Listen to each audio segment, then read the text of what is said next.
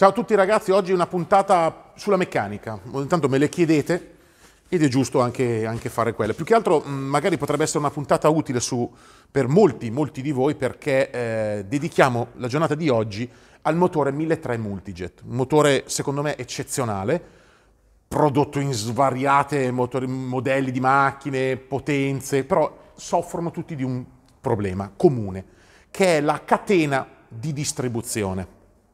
Allora, prima di spiegare che cosa succede, il perché, il per come, il tutto, voglio dire soltanto una cosa. Nel 95% dei casi, non voglio dire tutti perché c'è sempre la pecora nera, eh, per carità, ma nel 95% dei casi, per arrivare in questa situazione, quindi con una rottura della catena di distribuzione, la catena vi avvisa, cioè vi dà dei bei segnali, fa un gran bel rumore, prima in avviamento, perché la catena si allunga, quindi sbatte in avviamento, poi cosa fa? Si tira e la smette, o comunque lo fa molto meno. Quando è agli sgoccioli fa rumore anche intanto che è in moto, quindi è già non un campanello d'allarme, è proprio una sirena, una tromba da stadio di allarme.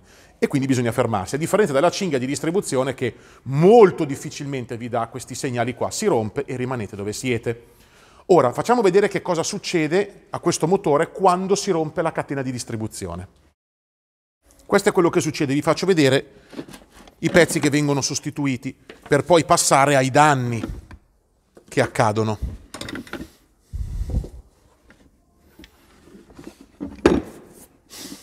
Allora, questo diciamo che è una situazione limite, però questa cosa succede. Quindi qua abbiamo una catena spezzata, la maglia della catena si è tranciata, si è rotta ma se io vado a controllare questa catena qui, adesso chiaramente è impossibile, si è allungata, si allunga, si allunga perché si tirano queste maglie, consumandosi. Qual è il problema? Questo è il tendicatena idraulico. Vedete che questo stantuffo, questo pistone, esce perché lavora con la pressione dell'olio del motore. Quindi lui è appoggiato tramite un pattino, naturalmente era per farvi vedere, questo esce, schiaccia la catena e la tira. Eh, la tira fino a che può, perché a un certo punto questo qui non è che può uscire, se no viene fuori dalla sua sede. Quindi ha una sua corsa in cui può tirare la catena, dopodiché si ferma. Questi sono i pattini dove scorre la catena di, di distribuzione, ok? Che si consumano anche loro. Parliamo di millesimi, però un po' si allunga la catena, un po' si consumano i pattini. Che cosa fa la catena negli ingranaggi? Sbatte, si allunga, questo è messo così praticamente, la catena, al posto che essere bella tirata, è lenta e quando è lenta fa questo rumore qua. Sbatte la catena, fino a che questo, lui tira il più possibile la catena fino a che può, perché dopo esce, chiaramente non è che ha un fine corsa, se no cadrebbe dentro nel motore e chiaramente non tirerebbe più la catena. Quindi parliamo di situazioni limite, però queste cose succedono. Ora, se si interviene quando la catena incomincia a far rumore o a un certo chilometraggio, visto che la spesa non è eccessiva farla al 1300 multijet, si può ovviare a questo problema. Se invece la catena di distribuzione si rompe, i problemi sono i seguenti. Questo motore è concepito in maniera molto intelligente, come tanti altri motori, eh? attenzione, però il 1300 Multijet su quello tanto di cappello. Vedete che io sotto il coperchio delle punterie ho il castelletto con i miei due alberi a cam, che dopo vi farò vedere, e ho questi pompanti.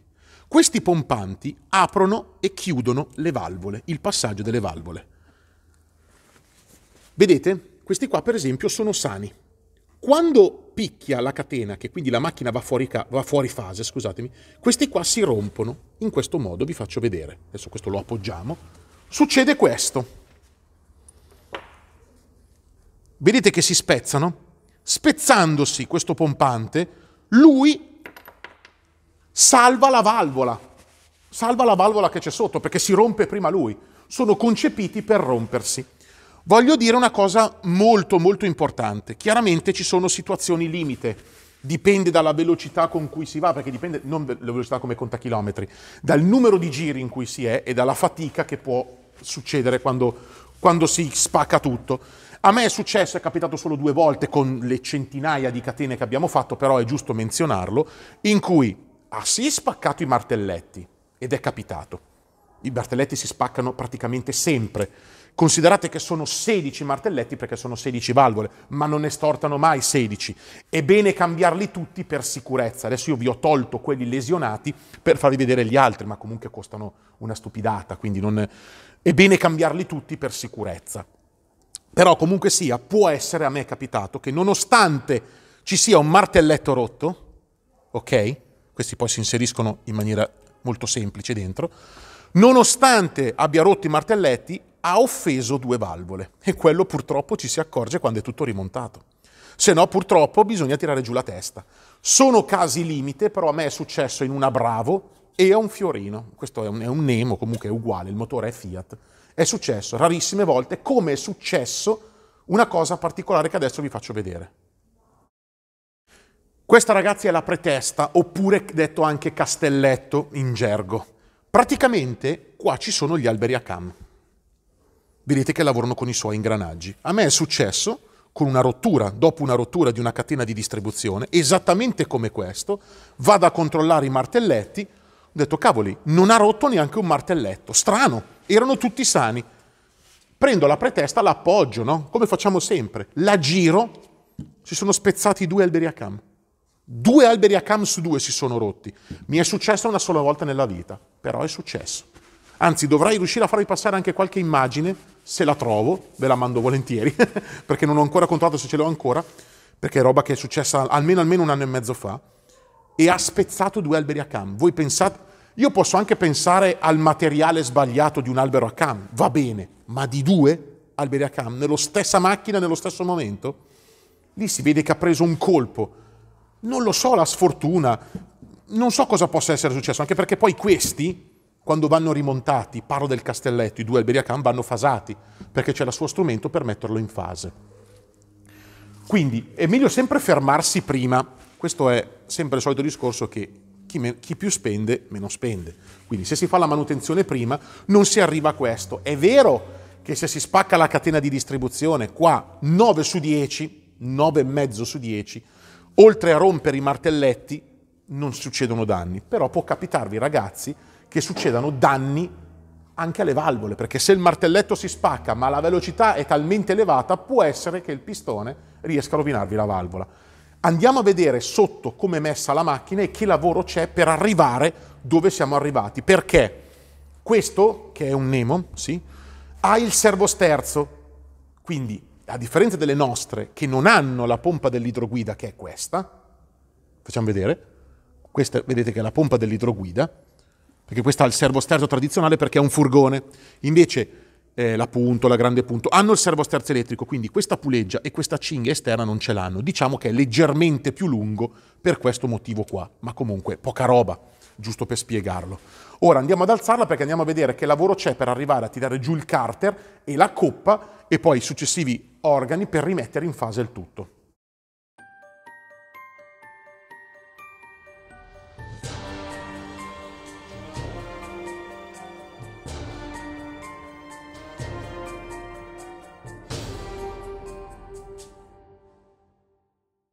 Importante ragazzi, quando si smonta, questo non è un tutorial, eh, io non faccio tutorial, è una spiegazione più che altro dei lavori fatti, secondo me è regola d'arte.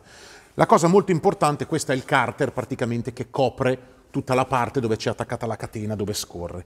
Importante è la pulizia, perché quando si spacca qualcosa di materiale ferroso va sempre in giro nell'olio, cioè è vero che sono microparticelle, però possono sempre capitare che dopo vi, troviate, vi trovate un dispiacere, cambiare le sue pulegge sempre, che sono quelle che vi ho fatto vedere prima, perché è bene cambiarle sempre, perché possono rovinarsi. Perché? Questa è la puleggia. Vedete come sono consumati i denti? Questi denti qua devono essere praticamente, dovete farvi, non dico male quando lo toccate, ma quasi. Vedete che questo lo girate con le mani, perché la catena, allentandosi, sbatte e crea questo consumo. Vedete l'ingranaggio? Voi pensate, questo ha percorso 122.000 km, poca roba. Cioè per una catena è anche normale. Questo ingranaggio qua che è finito, se io me ne sbattessi, come fanno in tanti, lo rimontano su, voi pensate che questo ingranaggio qua dura altri 120.000 km, ma questo qui non ne dura neanche 60.000. Quindi che cosa faccio? Dopo salta un'altra catena, eh, la Fiat è una macchina di merda, non funziona così. Cioè, prima bisogna vedere che cosa hanno fatto di lavori. Dopo si può giudicare una macchina. Comunque, tanto li danno nel kit, ragazzi. I kit seri vi danno tutti, adesso lo facciamo anche vedere, tutte le parti necessarie per la sostituzione. Quindi non andiamo a fare dei lavori economici, ok? Guardate che kit completi, vi danno tutto. I pattini, i tiranti, i bulloni, i, il, il perno idraulico, chiaramente la catena, il tubo di mandata olio, che è questo che abbiamo già montato, perché questo qua praticamente ci passa dentro l'olio, ci passa dentro il lubrificante. Facciamo vedere. Questo è quello vecchio. Questo, è vero che è un tubo di ferro, io posso metterlo a bagno, ma guardate i passaggi dell'olio. Sono piccolissimi. Questa macchina qua gira, all'inizio girava col 5W40, parlo dei primi multijet Euro 4. Poi siamo passati al 530. Un olio giusto vi permette di non intasare questi tubi. Voi pensate ai passaggi piccoli e alla morchia dell'olio. Qua è un attimo che si chiude il tubo di mandata dell'olio, non viene lubrificata e voi fottete anche la catena nuova. O la catena, o l'ingranaggio, o il pompante, quindi qualsiasi cosa. Questo, a parte che ve lo danno col kit, ma cambiarlo sempre, anche quando si cambiano le turbine. I tubi di mandata dell'olio, ragazzi, cambiateli sempre. Almeno che non siano proprio tubi d'acciaio ad alta pressione, ma dovete essere sicuri di averli lavati bene, altrimenti per una scemata del genere andiamo a creare dei problemi al lavoro nuovo e sarebbe veramente, veramente un peccato. Questo è il mio parere.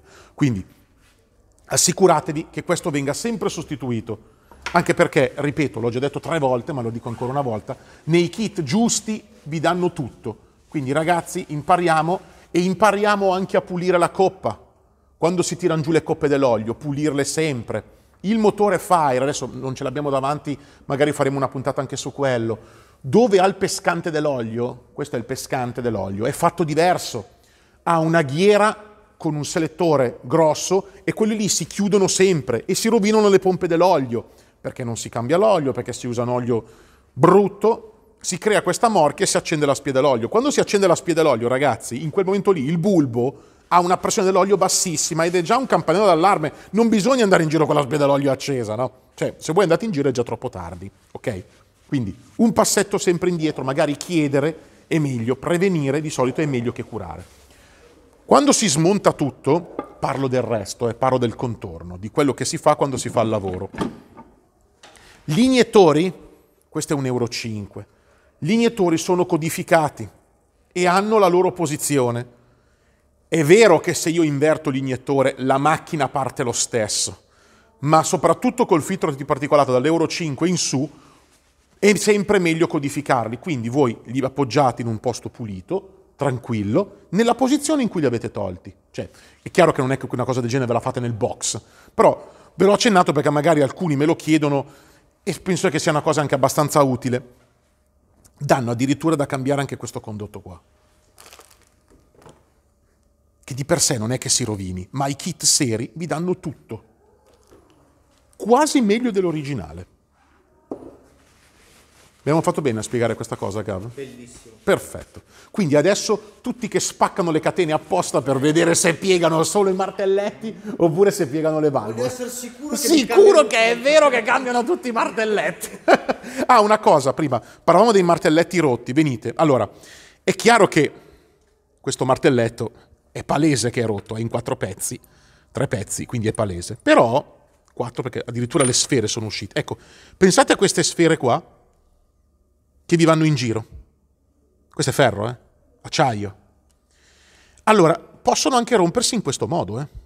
Vedete che se voi non lo pulite bene, per quello vi dico che è bene sostituirli tutti. Vedete? Adesso questo c'ha un taglio che si vede e, si, e sta uscendo anche la gabbia da qua. Ma se io ho un'incrinatura piccolissima qua, non la riesco a vedere, cioè la vedo, però è un rischio. Io che ne so che non hanno preso un micro colpo anche gli altri. È un attimo che questo qui magari usandolo, il colpo che ha preso si apre del tutto. Quindi i martelletti, ragazzi, è sempre bene cambiarli, come il resto del, del kit della catena e il resto. La pompa dell'acqua è esterna, si può non cambiare, perché, ripeto, questa è la catena di distribuzione, però sempre cambiargli il suo anello e sempre prenderlo originale, perché purtroppo ci sono delle cose che non originali vanno molto bene e altre un pochino meno. Vedete come si schiacciano? gli OR originali. Vedete che l'OR originale non fa più quella gobbetta, quello spessore tra il ferro e il resto. Perché? Perché ormai ha preso la sua forma, è rimasto schiacciato. Se io vado a rimontare la pompa dell'acqua vecchia con questo R, la pompa dell'acqua col culo che ho io perde di sicuro.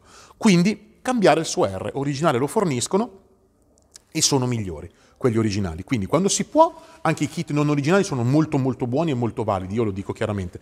Però sugli OR e i paraacqua, sempre roba originale. Per il resto, ragazzi, sono sicuro che comunque ci sono tantissimi esperti e tantissime persone valide in giro, come ci sono anche tantissimi scacciacani. Quindi per quello io vi accenno due cose basilari che è bene sapere. Fatemi sapere se vi è piaciuto il video e un saluto e un abbraccio a tutti. Ciao!